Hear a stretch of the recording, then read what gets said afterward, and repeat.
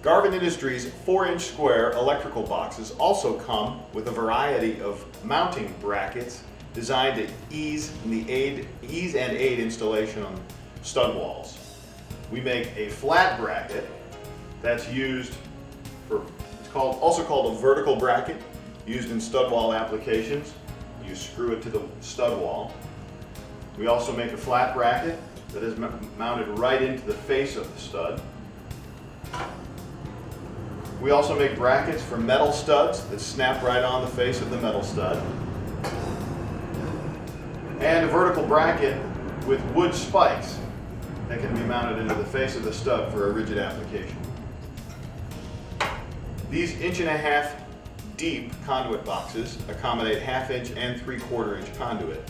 They do not have a grounding provision in the bottom because they do not need one. They only have a, a threaded grounding hole, not a raised grounding provision.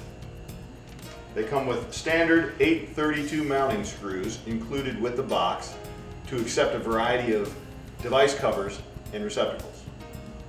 For these and other custom products, visit us at garvinindustries.com.